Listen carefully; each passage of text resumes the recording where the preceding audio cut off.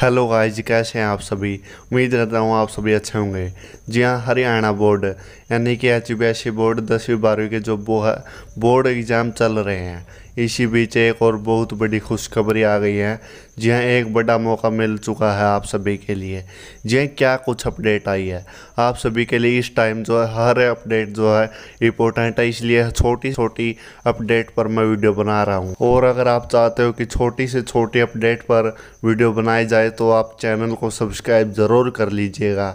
इस अपडेट के बारे में आज वीडियो में बात करने वाले हैं। साथ में अगर आप दसवीं बारहवीं में हो अफकोर्स हो गए। अगर वीडियो देख रहे हो तो इम्पोर्टेंट क्वेश्चन की पीडीएफ लेना चाहते हो तो आप ले सकते हो।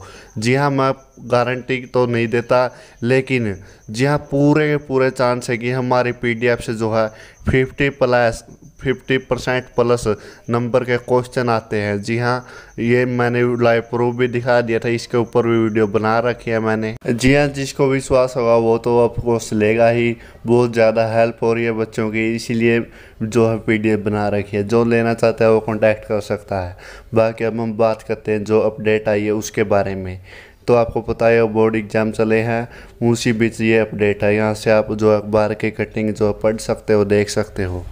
मूल्यांकन अंक भेजने का एक और मौका। जी हाँ हरियाणा विद्यालय शिक्षा बोर्ड ने सेकेंडरी व सीनियर सेकेंडरी वार्षिक परीक्षा फरवरी मार्च 2023 के लिए राजकीय एवं अराजकीय स्थायी मान्यता प्राप्त विद्यालयों, गुरुकुल व विद्यापीठ के आंतरिक मूल्यांकन और प्रायोगिक परीक्षा के अंक भरने की तिथि को जो है 17 मार्च तक बढ़ाया गया है। यह जानकारी उपायुक्त सुनील सारावान ने दी।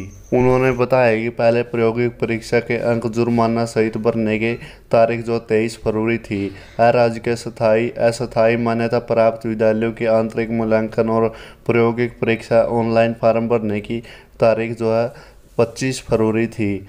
ये घनी बड़ी बात नहीं ये जो है तारीख बढ़ा दी गई है। सत्रह मार्च तक जो है बढ़ा दी गई है। अब सत्रह मार्च तक बढ़ सकते हैं आंतरिक मूल्यांकन और प्रायोगिक परीक्षा के अंक। दो लाइन की अपडेट थी। मैंने भी दो मिनट की वीडियो बना दी। कोई बात नहीं भाई, आपका जो समय है महत्वपूर्ण है इम्पोर्टेंट है, सो आप अपनी पढ़ाई करते रहें। यही अपडेट थी। बाकी चैनल को सब्सक्राइब ज़रूर करें।